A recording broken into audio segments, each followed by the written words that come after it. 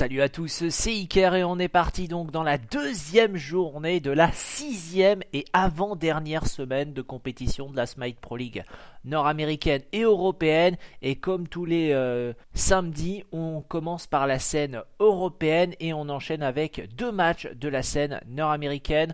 On commence par le match entre les Trig Sport et les euh, teams Dignitas. Et comme vous le voyez euh, à l'heure actuelle au standing, encore 6 équipes peuvent concourir à la LAN. Ce sont les Team Dignitas au euh, Fnatic. Les Homecoming Stars sont sûrs de ne pas pouvoir aller à la LAN, mais ils peuvent encore éviter les relégations s'ils font euh, deux bonnes semaines. Par contre, The Nightwatch, c'est fini, ils sont en rouge, c'est sûr. Ils termineront donc à la dernière place de cette scène européenne et ils seront sûrs de devoir se battre pour revenir au split d'automne en Spike Pro League européenne. Allez, on part tout de suite donc dans les piquets de la première manche de ce match entre les Trig Export et les Team Dignitas. Et on est parti euh, dans les piquets entre les Trig Export qui seront en bleu et les Team Dignitas qui seront en rouge. On va voir qu'est-ce qu'ils vont euh, décider euh, de ban car s'applique bien évidemment le dernier patch avec le nerf du pendentif turquoise et également les nerfs sur l'Asie, le crève-cœur, etc., etc. Donc ban Ares, Ymir du côté des Trig et de l'autre on a ban Serket. Ils sont marrants ces portraits, moi je les trouve moins classe que ceux d'avant. C'est assez, euh, assez rigolo. Ils ont décidé de changer les portraits des personnages, de plus prendre le, bah, le portrait qu'on a tout simplement euh, quand on est dans Smite. Qu'est-ce que vont décider de ban en dernier? Les Team Dignitas Est-ce que ça va être Nice Est-ce que ça va être autre chose? Bellona, Thor? Et ça sera Bellona qui est ban. On laisse donc en first pick Sylvanus, Nice, Thor, beaucoup de choses. Et ça sera un Apollo. C'est vrai qu'Apollo, comme je le disais euh, dans la vidéo sur euh, le patch, c'est euh, bah, le hunter qui est privilégié hein, avec le nerf du pendentif turquoise, puisque avant ce nerf, déjà les pro players sur Apollo partaient sur le prix de la mort. Donc c'est un personnage qui, qui se moque éperdument euh, du nerf du pendentif turquoise, donc forcément ça le up indirectement puisque ça nerfe tous les autres. On a récupéré Nice et Sylvanus. Alors Nice peut être joué euh, par Youngbe mais également euh, par Variety ou Shadow Nightmare sur la mid lane, on verra et un Sylvanus en gardien, hein, le gardien de la phase de lane, le plus solide du jeu. Euh, surtout qu'il a été up indirectement, vu que plus de pendentif turquoise, mais la graine de Sylvanus qui permet de régénérer la mana, c'est intéressant euh, comme personnage, c'est un up indirect de Sylvanus. Ça aussi, il faut quand même le mentionner. Chez les Trig Export, on récupère euh, et euh, Janus. Geb qui sera joué euh, par Trixtank et Janus qui sera joué sans doute par Lobster sur la mid lane pour moins des pics habituels. En tout cas, Trixtank nous a montré que c'était soit Hercule, soit Geb. Donc il repart sur son Geb. Le gardien, sans doute le plus défensif du jeu parce que Sylvanus a quand même des, des armes pour agresser. Geb, c'est quand même assez défensif comme perso on récupérera Odin. Odin ici peut être joué en solo lane ou en jungle. Je suis assez curieux de ce pick. En tout cas, euh, je suis assez content de voir un Odin qui ne sera pas joué en support, mais sans doute sur un autre rôle. Euh, ban Dawilik chez les Team Dignitas pour tout simplement ne pas se faire counter. Nice et Odin qui sont des persos qui jump qui, qui peuvent se faire ramener par l'ultimate. On sait que Kofred aussi joue beaucoup en ce moment à Wilix, donc on décide de lui retirer chez les Trig. On ban Chronos car c'est un des pics préférés de Variety en ce moment également. Donc voilà, on, connaît les habitudes des joueurs, on se connaît très très bien. On était déjà quasiment tous en Pro League la saison précédente. Donc euh, voilà. Ils l'étaient tous sauf Freeze, je crois. Oui, ils étaient tous en Pro League euh, sauf Freeze. Chez les teams Dignitas, on récupère Vulcain, Vulcain ici qui sera sans doute joué sur la mid lane, donc un wombo combo, euh, la cage d'Odin, le Ring of Spear et derrière le Air Shaker de Vulcain, son ultimate qui fait extrêmement mal. Euh, un bon combo, en plus il y a le Race of Terra, le World River de Nice. Et on terminera la composition euh, des Trig Sport par deux gros frontliners, Sun Wukong qui sera joué en solo lane et Cabracan qui va être joué par Kofred en jungle. Ah, ça fait plaisir de voir Kofred sur un Cabracan parce que je crois que c'est la première fois qu'il va nous jouer un, jungler tanky euh, du style Cabracan. Je crois. Donc euh, un pic intéressant ici, euh, beaucoup de capacité à catch, mais beaucoup de mono-cible, dans le sens où, bon, Janus c'est principalement du mono-cible, on peut toucher plusieurs personnes avec l'Unstable Vortex, mais généralement c'est rarement le cas. Euh, Sun Wukong c'est un perso mono-cible parce qu'il a un contrôle, c'est son, Tiger, après il a des dégâts de zone avec son 1, son 2. Cabracan, pareil, c'est plutôt mono-cible avec le combo 1 et 2. Donc assez intéressant, assez intéressant, et deux compositions assez différentes puisque de l'autre côté, on a Sylvanus avec le Race of Terra, le Ring of Spear, le combo d'Odin de zone, Vulcain et ses combos de zone, et Shark avec ses quasiment tous ses sorts euh, qui fonctionnent dans une grande zone, euh, beaucoup plus grande que celle de, de par exemple. Donc une composition vraiment à l'opposé, euh, je trouve, chez les Trigger Sport, beaucoup plus de catch, beaucoup plus de capacité euh, à décal, avec l'Utijanus, avec la Cross the Sky d'Apollo. On n'est pas tout à fait sur les mêmes styles de composition. Le Wombo Combo des Team Dignitas passera-t-il? C'est euh, ici que beaucoup de choses vont se jouer. Le Stun Shield de Trixan qui est donc très important pour éviter que Janus ou Apollo se fassent one-shot, mais derrière Cabracan, Geb et Sun Wukong, c'est quand même relativement tanky. On est parti donc dans la première manche de ce match qui opposait Trig Sport au Team Dignitas. On pose une petite graine du côté de Freeze. On a donc commencé avec le 1 euh, de Sylvanus. On a, euh, il faut le souligner, 3 euh, Hawks de chaque côté avec le choix du prix de la mort en starter item du côté de Sun Wukong et Shaq et non pas le rang 1 de la maille mystique. ce que je pensais être allé, aller devenir un, un classique, mais non ils ont préféré euh, changer euh, le, starter pendentif turquoise euh, qui était fait depuis le début de la saison 2 au retour du prix de la mort. Alors c'est vrai que chaque place pas mal d'auto. Sun Wukong aussi, mais c'est pas non plus obligatoire. Donc je suis assez, assez, étonné par ce choix sur le prix de la mort. Faudra que j'essaye. Faudra que j'essaye. C'est le rapport du sustain. On notera que, que Sun Wukong a, a, pris beaucoup plus de potions que chaque, puisqu'il a que seulement une ogre en 1 Sun Wukong. Et sur la mid lane, Vulcain qui fait le choix de la pierre d'âme et de la petite breloque, comme on avait déjà vu sur un Agni, euh, sur une Chenji aussi. Euh, bref, euh, assez intéressant. Permet vraiment d'avoir quasiment pas de problème de mana. Moi, je préfère le classique seuil vampirique artefact hein, sur mon Vulcain quand je joue mid. Mais là, c'est vraiment ordre de préférence, ce que vous préférez. Le jump d'Odin pour essayer de dépush. On l'a esquivé hein, du côté de Sun Wukong, heureusement. Et derrière, bah, c'est le combat des lourds. Hein. C'est euh, gardien, euh, guerrier contre guerrier, guerrier. Et Odin qui décale directement. On met un petit coup de Thunderstrike pour essayer de poke.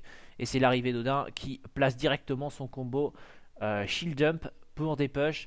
Et aller directement sur les Bacarpi. Ah, ça traîne pas chez les Dimilitas. Là, c'est au pas de course. 1, 2, 1, 2. On va aller faire les Bacarpi de droite tandis que le pauvre lobster est obligé de farm un petit peu euh, sous tour. Mais il récupérera quasiment, quasiment bah, tous les distances, mais pas les mêlées malheureusement. Pour les gold, Kofred qui va retourner euh, sur la mid lane, il a pris un point dans chacun de ses sorts. Et ensuite, normalement, sur Cabracan, on euh, skill order le 2 en premier. Et on va décaler sur les back alors on notera qu'au niveau des starters, au tout début de la game, aucune équipe n'a fait de back. Alors c'est à, mentionner parce qu'il commence à y avoir pas mal d'équipes qui font des back au début de la partie.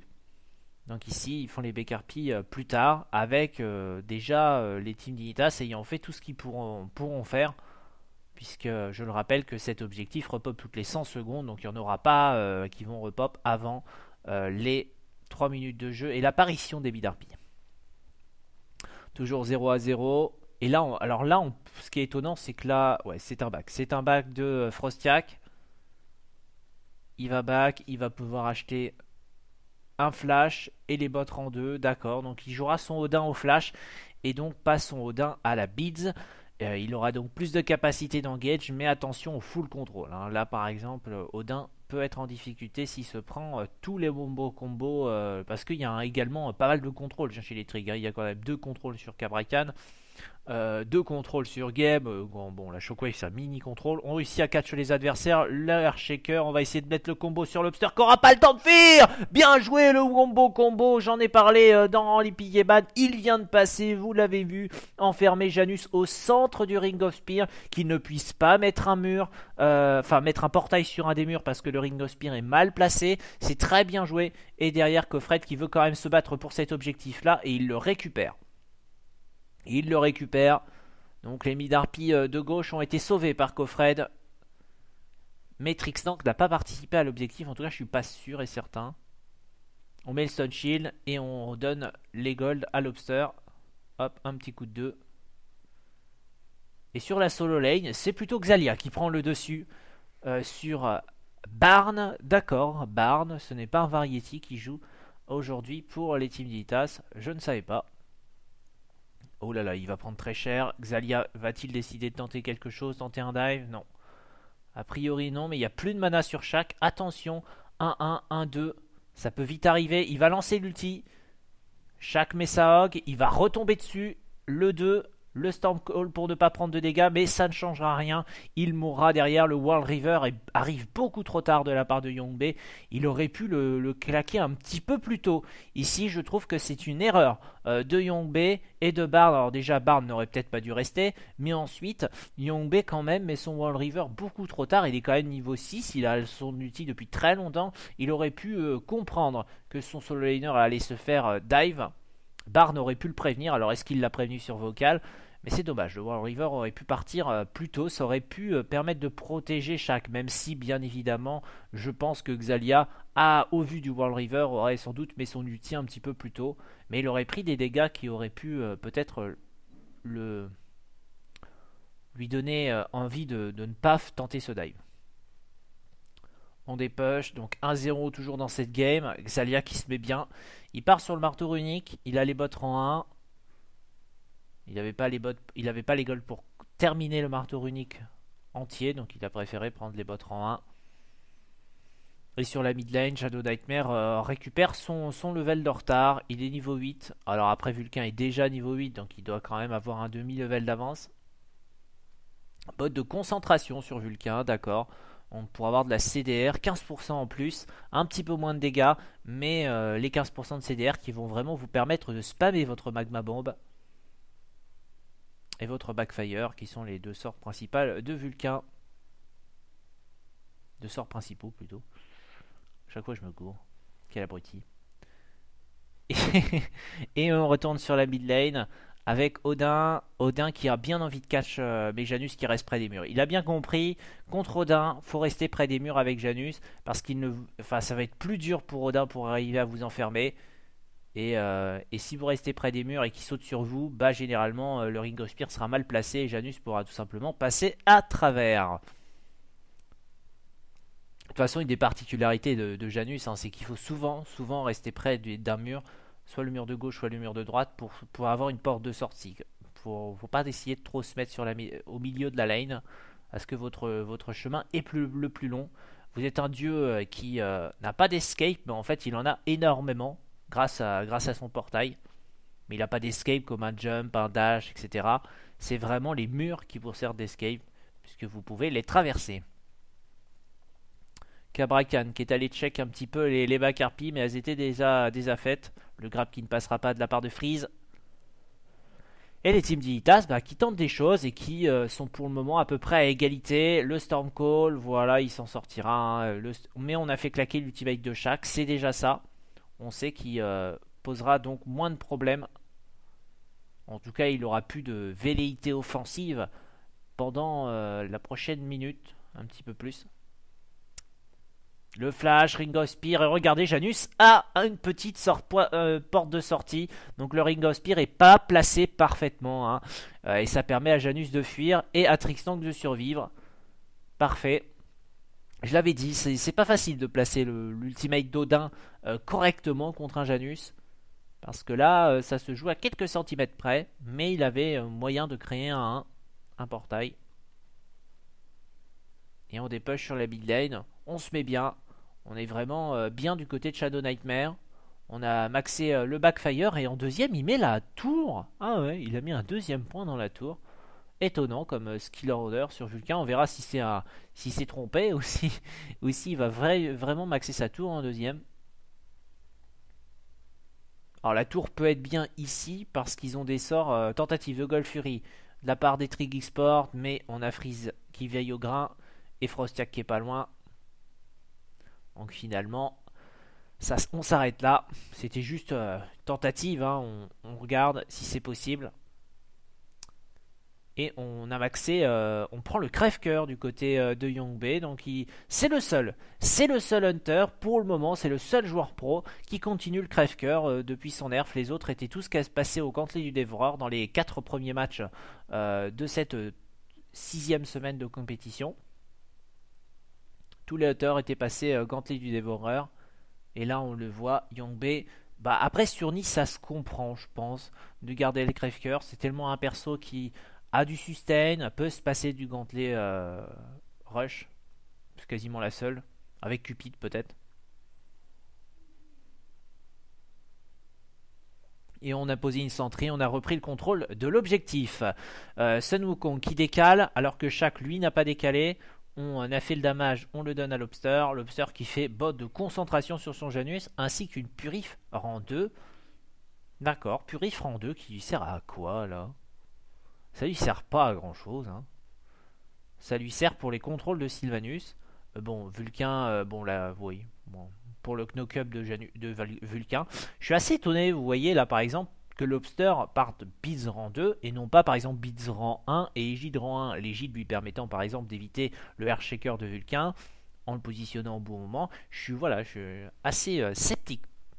Et c'est rare des choix. Et regardez Lobster qui maxe, son portail en deuxième sur Janus et non pas le Swissol. Donc là, pareil, on le voit, hein, cette itemisation, euh, ce skill order là que je faisais beaucoup moi euh, et que je fais beaucoup en solo queue.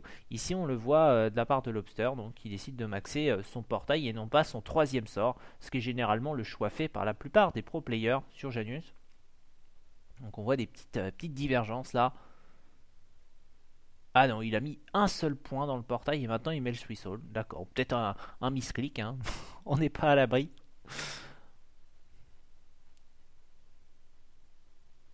Et Vulcain qui récupère son speed et qui va décaler mid. Le route ne passera pas de la part de Sylvanus. On essaye de catch, hein. bien évidemment les teams d'Initas sont une composition pour attraper leurs adversaires avec le, le Flash Ring Spear de la part d'Odin. Euh, on est obligé de, rester euh, quasiment sous tour. Hein. Le Flash Ring Spear, et cette fois-ci, Janus est mal barré, car il est au centre et il va mourir. Très bien joué, et aussi que Trixtan, très bien joué de la part de Frostiak. Là, il y avait une erreur de positionnement de Lobster, et bah ça s'est directement euh, fait punir. Bien joué de la part des Team Dilitas qui profitent de l'erreur de positionnement de Lobster pour le punir directement. Ils vont pouvoir sécuriser peut-être la première Golf Fury. Ça y est, c'est fait. Les Team Dilitas qui créent l'exploit et qui sont devant les Trig Export. 1700 gold d'avance. Très bien joué. Alors je le rappelle, hein, les Team Vietas ne sont pas encore à l'abri euh, des matchs de relégation. Si euh, s'ils perdaient 2-0 euh, ce, match, ça pourrait se compliquer. Donc ils sont un petit peu obligés d'essayer de, prendre une manche au Trig et ils sont bien partis. 1400 d'expérience d'avance, 1700 gold. C'est très bien joué. 3 à 1 pour eux. Et la composition pour le moment à base de Odin Vulcain passe chez Team Dilitas, un wombo combo et pour le moment les Trig Esports se font très clairement catch. Là vous voyez par exemple la, présence d'une égide sur Janus aurait peut-être été salvatrice. Je, suis assez euh, sceptique de ce choix de partir sur la Beats rang 2 euh, tout de suite dès le début de la partie. Une Beats rang 2 qui sert finalement pas à grand chose hein, contre un Nodin et un Vulcain.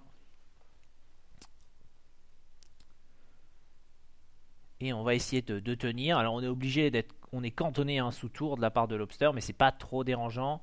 La magma bombe, le, l'unstable vortex, on casse la tour. On, a parti, on est parti sur le pendentif de Chronos, sans doute sur Janus pour avoir full CDR, tandis que Shadow Nightmare, euh, il a des balls. Il fait euh, le livre de Tot, et il faut en avoir hein, pour, euh, pour faire un livre de Tot, car c'est un objet qui coûte très cher, qui est long à stack et qui vous apporte rien en défensif. Hein. C'est même pas, euh, c'est pas, euh, c'est pas comme une arme funeste où vous, la vous allez la voir tellement vite euh, et vous allez la stacker tellement vite que vous pouvez partir derrière sur une ceinture du sorcier ou sur, un, sur de la CDR avec un pendentif de Chronos, etc. Là non, hein, le livre de Tot il a 12 minutes de jeu, c'est quand même très bien puisque Vulca est à 1-0-2, ils ont fait une Gold Fury, la Shadow Nightmare hein, qui fait du farm quasiment euh, à la perfection, il a 6800 gold de fait, alors que euh, Janus est à 5650. Donc là, euh, beaucoup plus, beaucoup plus de gold pour Vulcain qui doit quasiment la stit depuis le début de la partie. avec Vulcain, c'est vrai que c'est pas trop difficile de, de bien la stit avec le backfire. Donc ça se passe vraiment très très bien. Le The Move Serenade, on met le stun. Le backflip qui ne suffira donc peut-être pas. Le, Spirit Arrow, on bloque avec le Tectonic Rift et le Tremor. Et c'est le kill qui est pris euh, par Funballer. Bien joué. Ici, on, sait euh, que euh, Yongbe allait se faire attraper. Le Flash Ring Spear qui est cancel par le Flash de Cabracan. Et Odin qui est enfermé dans son arène. Ça, c'est triste. Mais Vulcain, mais Apollo, Apollo, Apollo qui va partir avec un The Move il n'a pas envie d'utiliser son, Across the Sky. C'était assez étonnant. Il l'utilise maintenant. Bon là, il décide quand même de retomber de manière offensive. C'est ballsy de la part de Funballer. Est-ce qu'il va réussir à faire son place, la Serenade? Et derrière, il va se faire finir par le shield jump d'Odin qui va mourir des coups du portail de Lobster. Bien joué. C'est finalement le backfire qui ne touchera pas de la part de Janus. On stun du côté de Cabracan. On route. On force la beads et on est touché par le Wisp. Est-ce qu'il y aura suffisamment de dégâts Peut-être. Hein. Oh, le Stone Shield. Le Stone Shield de Trixtan qui est salvateur, car oui, Lobster serait mort. On en est quasiment sûr maintenant. Bien joué, bien joué de la part de Trixtan qui permet au, au Sport de, sauver un petit peu euh, la situation. Hein, parce que euh, sinon, ça allait être un trade rentable pour les teams d'Ilitas. Enfin, largement rentable. Parce que là, finalement, c'est un, un bon fight de la part des Trig ils ont finalement euh, qu'un seul mort. Et on dépush, on refait les stacks sur Yongbe. Même si on a perdu la moitié des stacks, je peux vous assurer que c'est que ça va se remonter vite. On a fait le tabi de guerrier, l'Asie. Donc on fait vraiment l'ancienne itemisation hein, euh, sur Nice. Et donc Apollo, lui, part sur euh, celle de début. Ah non, il fait pas ce début de saison puisqu'il il passe la case cheval. Il fait directement l'exécuteur. Alors ça signifie peut-être plus tard l'ail cheval ou alors à la place de l'ail cheval, en sixième objet, il fera un nazi pour avoir deux items euh, de vol de vie.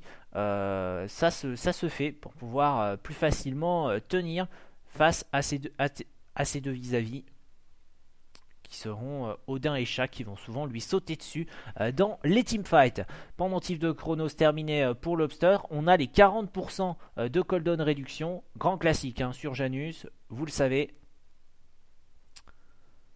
Et aucune tour tombée et une Golf Fury qui va pas tarder à réapparaître. Je rappelle que la première a été faite par les teams d'Initas après avoir réussi à catch Lobster et Trixtank dans un très beau ring of spear de Frostiak et on dépush. Moi j'aime bien Frostiax parce que c'est un jungler atypique qui généralement fait la différence avec des pics qui sont pas forcément beaucoup joués. Vous voyez par exemple Frostiak ne joue plus son Ymir jungle. Euh, enfin il le jouerait peut-être s'il était pas bad mais c'est vrai que bon il a euh, contre Frostiak on le sait il faut pas laisser Ymir open ou il faut le prendre dans son équipe. Euh, donc il est obligé de partir sur des pics un peu différents et c'est vrai que lui ne part pas sur Circuit, Thor. Euh, pour Thor il le joue un peu, mais c'est vrai que Circuit vous verrez rarement Frostiak sur Circuit ou Bellona. Il préférera euh, prendre un perso comme comme Fenrir, comme Odin, qui sont un peu des, junglers cheesy, c'est-à-dire que c'est ça passe ou ça casse, hein, généralement genre de perso. Et ce sont souvent des persos assez early game. Hein. Odin fait très très mal en early, tout comme Fenrir. Et on dépush et Lobster hein, qui farme tranquillement sous tour. Alors oui, il est, largement en retard au gold par rapport à son vis-à-vis. 1200 euh, euh, gold de retard quasiment. Euh, Shadow Nightmare qui fait vraiment une game extrêmement forte ici avec Vulcain, un pic que beaucoup considèrent plus viable. Et je suis content de voir Shadow Nightmare s'en tirer très très bien avec un de mes pics préférés. Alors c'est vrai que c'est un ulti difficile à placer, qu'il n'a pas d'escape naturel à part un pauvre backfire qui lui permet de reculer de 2 mètres mais finalement quand, mais finalement, quand vous jouez euh, l'agression, eh ben, c'est un pic très très fort. Et vous pouvez faire des, des, des, des, dégâts insoupçonnés en late game avec votre air shaker. Après, il faut arriver à le placer. Ça, c'est une autre paire de manches. Et pour le moment, il n'y a encore rien qui permet d'esquiver euh, de gros dégâts. Le flash cataclysme, on flash au même moment du côté de Frostiak pour éviter de se faire cancel le flash. L'ultimate qui touchera personne. L'ultimate de Janus à travers le mur. Janus qui revient finalement, ça devrait s'arrêter sur un drôle très bon grappe. Le Race of Terra, on a utilisé euh, le Soramaso Cloud de la part de Sun Wukong pour éviter de se faire contrôler par, euh, euh, Sylvanus, c'était très bien joué, tandis que Shaq est en train d'arriver, finalement il n'aura rien fait du teamfight Shaq, donc c'est une très belle défense de la part des teams Militas puisqu'ils étaient en infériorité numérique, même s'il y a Nice qui est passé alors que euh, Apollo, lui, n'est pas venu avec son Across the Sky, mais les deux Hunters conservent leurs ultimates. Et on dépush, et on a Shaq qui va retourner sur la lane. Chaque qui parti marteau runique, tabit de guerrier, marteau de givre et qui part sur un autre objet de protection physique sans doute. Sur Sun Wukong, on a fait le, corps item que j'aime beaucoup. Euh, marteau runique pour avoir des PV et de l'armor, tabit de guerrier pour faire des dégâts et colère de Jotun pour vraiment avoir 25% de CDR sur vos sorts et pouvoir vraiment harass votre adversaire et spammer euh, dans les teamfights votre 1 euh, et votre forme aussi qui est très très forte, la forme de tigre principalement. On retourne sur la mid lane, on va essayer de mettre la pression. Il y a toujours le Ring of Spear hein, sur Frostiak, mais il n'y a plus le Air Shaker de Vulcain. Donc ça fait un peu moins peur. Ni le Race of Terra de Sylvanus en ultimate. My Mystic pour Cabracan après avoir fait des bottes de mage. On a bien fini l'exécuteur du côté d'Apollo. On part sur l'exécuteur chez euh, Nace. Et Apollo hein, qui tourne autour. Il y a les Midarpi qui, sont, vont pas tarder à réapparaître. L'hésitation, la cross the sky, ça va partir. Ça va partir. L'arrivée d'Apollo, on met le Tectonic Rift, on réussit à prendre le kill du côté de Shadow Nightmare. Bien joué, c'est la première mort de Vulcain dans cette game. Derrière Odin essaye de faire la différence, mais malheureusement, ça ne suffira pas. L'arrivée de Shaq, en même temps euh, que euh, Sun Wukong. Et finalement, c'est un kill pour les Trig Sport, un kill pris sur Shadow Nightmare qui a dû donner pas mal de gold ici puisqu'il est quand même, euh, il, est encore jamais mort et il était à 1-0-3. Il part euh, ensuite sur un pendentif de chrono, j'ai l'impression, en quatrième objet. Après, ça pourrait être un bâton de Tahuti, on verra. Le portail qui est mis, l'unstable vortex, j'ai l'impression que c'est récupéré par Lobster. Et Nice qui est en train d'engager la Golf Fury. Est dessus. On essaye de faire peur. On a Sylvanus qui rejoint et Trixtan qui euh, stop-stine sur Odin. C'est un bait au-delà de la part de Frostiak. Non, ce n'est pas fait. Elle n'est pas faite finalement cette Golf Fury. Dommage, dommage. Cabracan qui va aller check, qui va essayer de peut-être reprendre le contrôle de la vision de l'objectif, autour de l'objectif. Lobster qui passe sur les bacs harpies. Alors va-t-il attendre son jungler? Même pas. Enfin s'il l'attend pour la grande harpie, donc c'est suffisant. Et hop là. Fatballer qui retourne en lane. Il part directement sur du crit. Moi j'aime bien cette itemisation là. Puisque c'est vrai que j'ai du mal à, fight euh, en tant que hunter. Bon, je suis pas, bien évidemment, je suis pas du niveau de Funballer. Euh, mais euh, mais c'est vrai que j'aime bien avoir le crit assez tôt, moi. Donc pourquoi pas? Pourquoi pas ne pas faire l'ail cheval Même si l'ail cheval contre une itemisation Asi crève-cœur vous permet bah, de pouvoir reprendre le dessus en fait. L'ail cheval ça va vous permettre de trade contre votre adversaire après Apollo contre Nice, vous avez intérêt à éviter la Spiritaro. Sinon, il y a un bras qui tombe direct. et voilà, un petit backflip. Et ça dépush. On va back du côté de Funballer. On back du côté de Yongbe. Fini à fin de l'exécuteur. Fin du sprinter en 3. Et Apollo, lui, euh, a acheté l'épée courte. Donc le rang 2 du rage le flash et Janus qui repart. Il s'est collé à un mur intelligemment, Lobster. Mais derrière, on catch quand même Cabracan qui a évité le air shaker de Vulcain en tournant autour du Ring of Spear. C'était très bien joué. Et Odin qui va devoir fuir. Tristan qui a pris de bon dégâts. Lobster qui essaye de chase. Le portail, l'Unsable Vortex, le jump d'Odin à travers le mur. Mais c'était sans compter Sun qui est en train d'arriver. Il place le 2. Il va essayer d'aller le tuer à l'ulti. Sous tour. Mais il y a le shield. Derrière, il va tenir. Il va tenir et il fuit en forme d'aigle. Bien joué, bien joué de la part de Frostiak ici. On pensait qu'il était mort, mais non, pas du tout. Tentative euh, de Golf Fury avec euh, les portails. Et ça passe pour les Trig Export qui sécurisent la deuxième Golf Fury de la game et la première pour eux. Hein. Ça leur permet euh, de revenir au gold puisqu'ils sont seulement à 300 gold derrière. Chaque va-t-il réussir à faire tomber la T1 de la Soul Lane A priori, oui. Cabracan sera là trop tard. C'est donc les types d'Ilitas qui font tomber la première tour. Et ils tentent un Fire Giant. Ils tentent un Fire Giant, ce n'est pas vu. Ce n'est pas du tout vu. Gabe va aller check. Est-ce que ça sera à temps car on est à 35, 32 secondes? Ça va passer, bien joué de la part des Team Dignitas. Utilisation très intelligente euh, de la Hog de euh, Sylvanus qui était up contrairement à celle de Geb. C'est très bien joué ce que viennent de faire les Team Dignitas. C'était très ballsy et c'est passé et ça leur permet de reprendre l'ascendant dans cette game même si euh, Funballer est en train de push sur la duo lane. Il a fait tomber la première tour et il va sans doute bien amocher la deuxième. Est-ce que Youngbe arrivera tant Oui, il va se mettre devant. Derrière, est-ce qu'ils vont pouvoir push cette T2 c'est compliqué, hein. on est à 23 minutes de jeu, le flash, on essaye d'engager avec Odin, le air shaker qui finalement euh, ne sert à rien et Shadow Nightmare qui se fait défoncer par la front lane. Il était complètement tout seul là. L'arrivée euh, de Funballer avec son Across the Sky et c'est maintenant Shaq qui se fait portail. Il, a le, il va prendre les coups de la tour, il ne pourra pas survivre ici. Il se fait full control et il est tué par Kofred. Derrière c'est le stun qui passe. C'était un dive compliqué.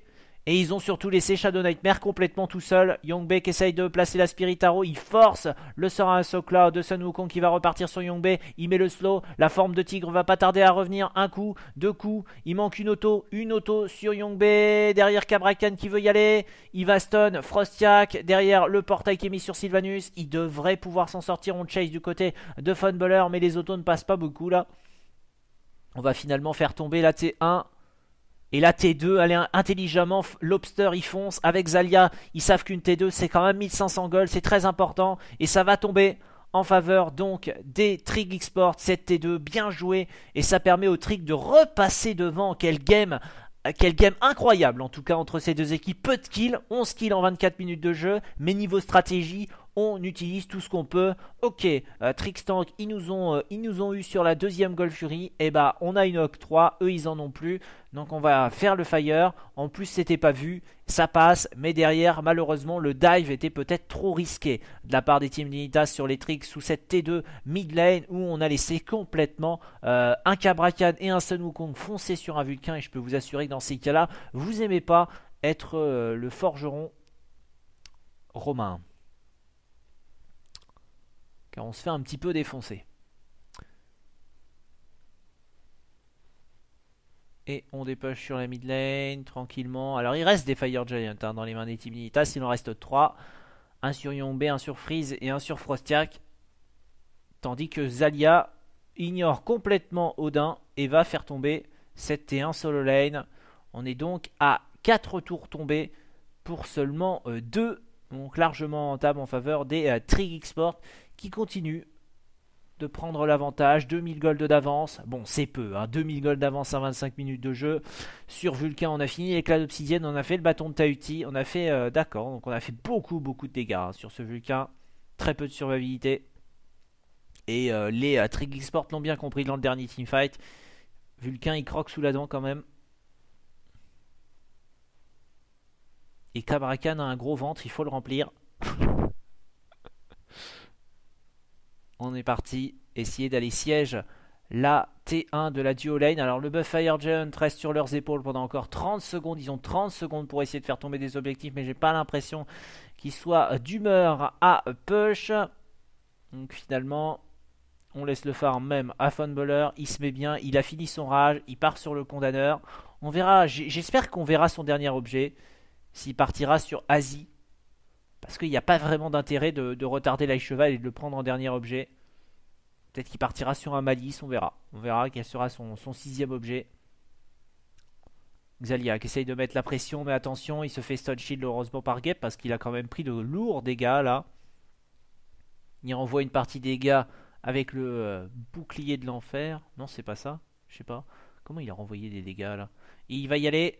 On réussit à prendre le kit du côté euh, de Frostiak sur Funballer, mais il reste encore Lobster en vie. Lobster qui est en train de free DPS, il s'est fait stun shield, il met des stuns double vortex qui font mal, mais ça ne suffit pas. Et Funballer qui s'est fait imploser dans ce teamfight, c'est bien joué quand même. Bon travail ici de la part de Frostiak. Alors on n'a plus le Fire Giant, mais on peut quand même push parce qu'on est en supériorité numérique. Et ils vont donc réussir à faire tomber une T1. La T2, a priori, est défendable. On va voir. On se sustain, on a le Wisp de Sylvanus, on n'a pas besoin de back, c'est l'une des forces de leur compo. Ils ont quand même le Wisp de Sylvanus. Euh, nice a son 2 euh, aussi. Le backflip, on réussit à faire tomber une T2 et on euh, reprend le lead puisqu'on est à 700 gold devant maintenant. Pas de tentative de Gold Fury, on back instantanément. On sait que le Fire va repop. On dépêche et on a Xalia et Trixtan qui sont vus. Ils vont bien évidemment positionner des wards sur cet objectif. Ou essayer de défendre les leurs. Et on essaye de fight.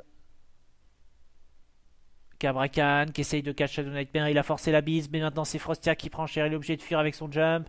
Il est enfermé. Oh, l'ultimate, le Kamehameha en pleine face de Lobster qui défonce complètement Frostiak. Et derrière l'arrivée de la Cross the Sky, on va prêter la pression sur Shadow Nightmare qui ne pourra pas survivre. Le Airshaker qui ne touchera pas, qui suffira il sera pas destructeur. Le Storm Call. Derrière, les Team Dignitas essayent de prendre des kills, mais ils sont en infériorité numérique. Le triple portail de Lobster, le cataclysme derrière. Et on va réussir à prendre le kill sur Young Tandis que, malheureusement, Shaq ne tiendra pas. Il va se faire tuer par Kofred et ça va être directement le Fire Giant. On ne prend pas la T2, on ne prend pas de Phoenix. On n'a pas le temps. On veut prendre le Fire tout de suite. Bien joué, bien joué de la part des Trig Export ici. Erreur hein, de la part de Frostiak. Ils ont voulu tenter des fights et ils ont été surpris par le euh, flash de Kofred. Il a fait la différence avec son Cabracan. Bien joué. Et on va récupérer un Fire Giant chez les Trig. Pour moi, c'est une game extrêmement serrée. Hein. On a eu euh, une Gold Fury de chaque côté. On a eu un Fire Giant de chaque côté. C'est euh, euh, une game passionnante entre ces deux équipes et qui nous prouve quand même que la scène européenne est serrée. On part sur une lance de mage sur Lobster et non pas un éclat d'obsidienne. Comme quoi on, voit de tout à niveau pro quand même. Enfin, on voit de tout.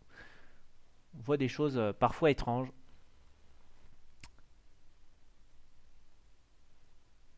Et on donne le purple à Funballer qui va back et peut-être terminer son condamneur. Peut-être terminer son condamneur, roulement de tambour. Eh non, pas du tout. Il finira pas son condamneur. Et Lobster qui récupère son buff de dégâts. En du côté de Odin.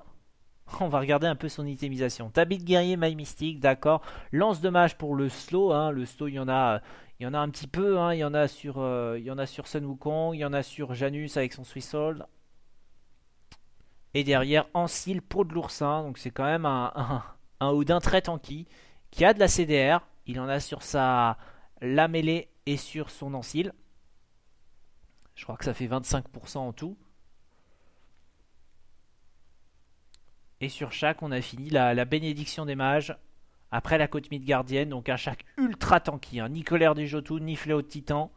Donc très peu de pénétration euh, d'armor. Hein. C'est un chaque qui est là pour tanker et non pas euh, pour faire des dégâts.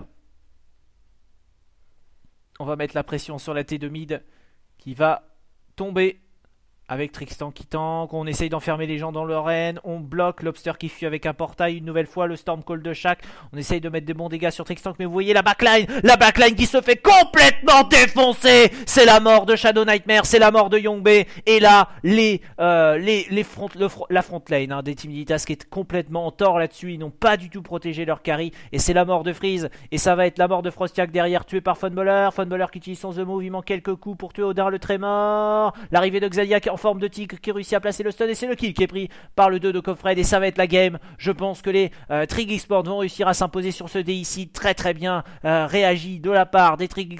On a vu l'implosion totale de Young Bay et Shadow Nightmare qui n'ont pas pu se protéger l'un et l'autre. C'est compliqué dans ces cas-là. Faut-il laisser les frontliners sur la backline adverse ou faut-il que les frontliners viennent protéger leur propre backline? À vous de juger. Mais ici, le, la, la backline n'a pas su tenir face à la frontline des Trig et c'est vraiment ça qui a fait tourner le teamfight Très bien joué de la part des Trig Sport qui s'impose donc dans la première manche de ce match contre les teams Dignitas et les teams Dignitas qui malheureusement euh, euh, se rapprochent, se rapprochent de la zone de relégation. Attention, attention, les warnings sont au rouge. Les teams Dignitas peuvent peuvent être en zone de relégation si les Homecoming Star euh, un bon week-end et si les teams Dignitas perdre la deuxième manche. Donc attention, chez Team Dignitas, on commence à avoir une petite gouttelette de sueur sur le front de chacun qui commence à descendre. Donc n'hésitez pas à vous abonner à ma chaîne YouTube si vous avez apprécié cette vidéo. Vous pouvez également me suivre sur Twitter et Facebook. Donc à la prochaine pour une nouvelle vidéo de Smite.